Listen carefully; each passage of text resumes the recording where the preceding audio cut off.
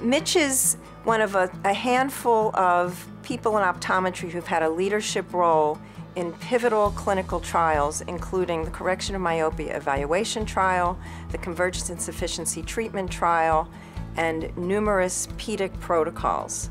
He started his career as a, an optometric educator, and he made himself into a high-powered researcher.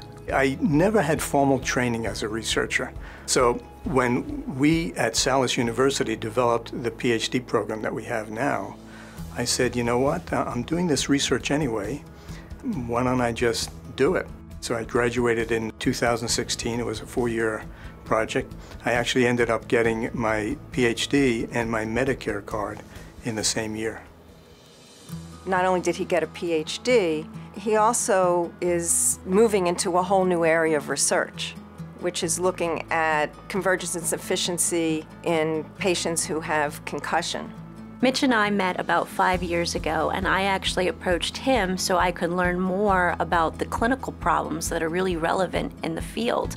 And as we got to know each other, he actually wanted to learn more and more about how to do eye movement recording and how to do quantitative measurements on different types of patients. Using objective eye movement recording, where we can look at vergence, accommodation, and versional eye movements, and we can see things that you really can't see as a clinician.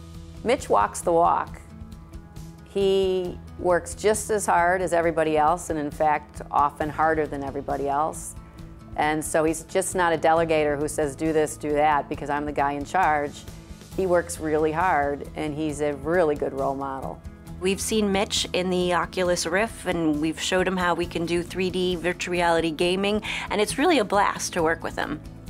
So Mitch has always been uh, the most encouraging person uh, looking at our work and say, oh, this is wonderful that what you guys are doing is a, really a breakthrough and um, we don't get that too much from other people. Really no one has done more to advance the field of binocular vision than Mitch. He's led the biggest studies. He's authored or co-authored the most read textbooks. He's taught thousands of optometry students about binocular vision. The field wouldn't be where it is now without his efforts.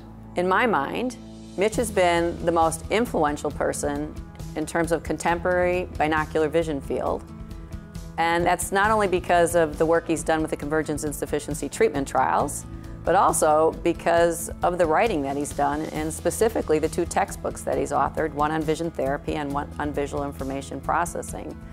So he's been an inspiration to a lot of people, myself included. And you know, when it comes down to it, I mean, if someone says, who's the man? I mean, Mitch is the man. He's the man when it comes to binocular vision. Most important, he's a very good person. He's a mensch from every aspect. He's hardworking, he's thoughtful, he's careful, and when Mitch says he will do something, he does it.